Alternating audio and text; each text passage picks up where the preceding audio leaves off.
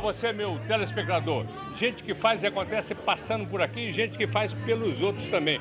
Eu estou aqui no, nesse projeto é, Chefes contra o Câncer, mais uma vez, a gente dando cobertura, e aqui com o nosso José Marcelo, que está à frente é, dessa iniciativa louvável e que, diga-se de passagem, aí ajuda, sobretudo, muitas crianças carentes que chegam em Belo Horizonte é, com necessidade do amparo e vocês são aí é, é, é uma, uma, uma, ponte entre o tratamento específico e o acolhimento desse, é, é, de gente que vem do interior. Como você também veio do interior, você conhece bem essa história e não foi à toa que teve essa iniciativa. Né? Paulinho, boa noite. É verdade. Hoje a CAP, a Casa Acolhida para Deus Tá, que acolhe crianças de câncer do interior de Minas, de todo o Brasil. Hoje nós estamos com 600 crianças de câncer, hum. tratando Crianças, quando eu falo 600 da casa, tem 120 leitos. Uhum. 600 que estão em tratamento. Uhum.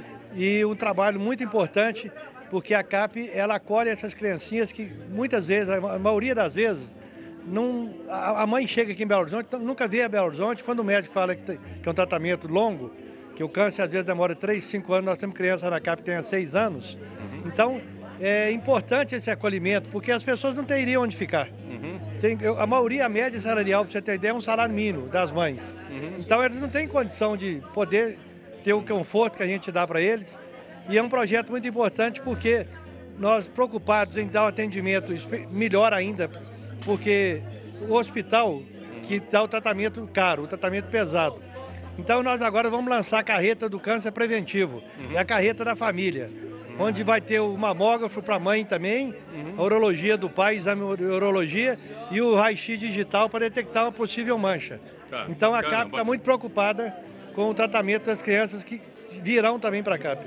Okay. Parabéns para você. E você atrás de você aí tem uma superintendente que é danada. Quem que é? A Mônica, Mônica, a Mônica Araújo, né? Mônica Joia. Puxa a Mônica lá que Vamos eu vou conversar com ela lá. aqui. Vou vai chamar lá. a Mônica.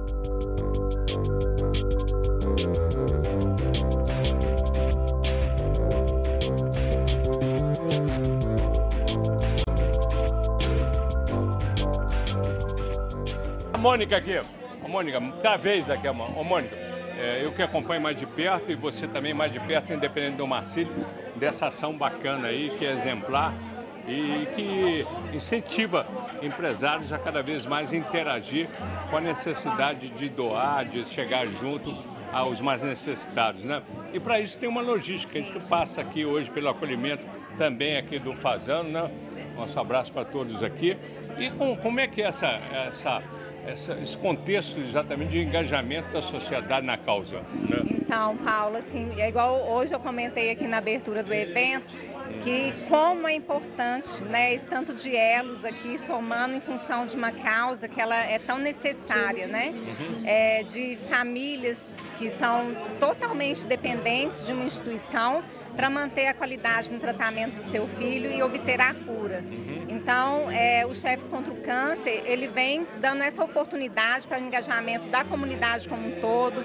É, são famílias, são empresários que estão aqui hoje reunidos e que a gente já está aí na nossa oitava edição, contando com esse público que realmente abraça a causa, é, é, que não é só aqui né, nesse evento, mas que a partir daqui passa a se envolver mais com a instituição, passa a conhecer mais o trabalho da instituição e a gente assim fica extremamente gratos porque somos totalmente dependentes, né? Tem.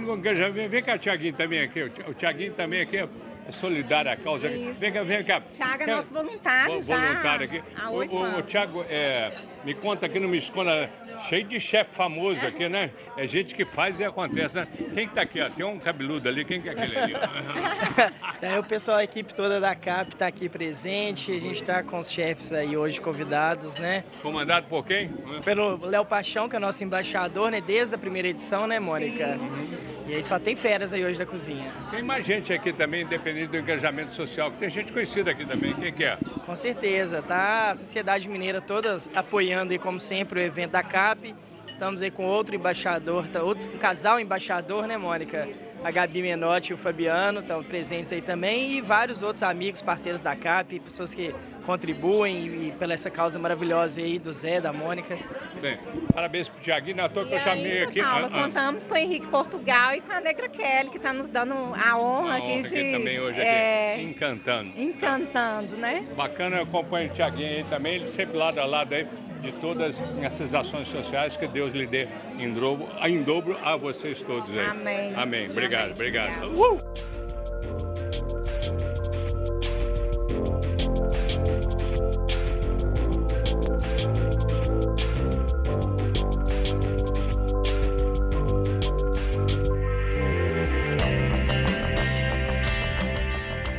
Gente que faz e acontece passando por aqui.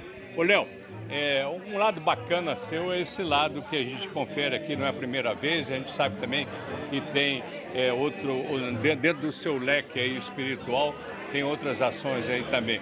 Mas você dentro aí da sua humildade, você põe da mão e dá o exemplo também como chefe do câncer, que é um, um modelo, um formato muito interessante em prol de, de, de envolver outros chefes numa causa que muito bacana, né, cara? Isso faz bem, não faz? Né? Faz muito bem, a causa é muito bonita. A CAP é uma iniciativa do, do Zé Marcílio, uma coisa muito legal de participar. Eu acho que eu sou um privilegiado. Eles vieram a mim me procurar para fazer uma primeira, um primeiro jantar. Eles pensaram como é que a gente faz um beneficente. A gente queria te contratar. Eu falei, não, já está beneficente, você não contrata.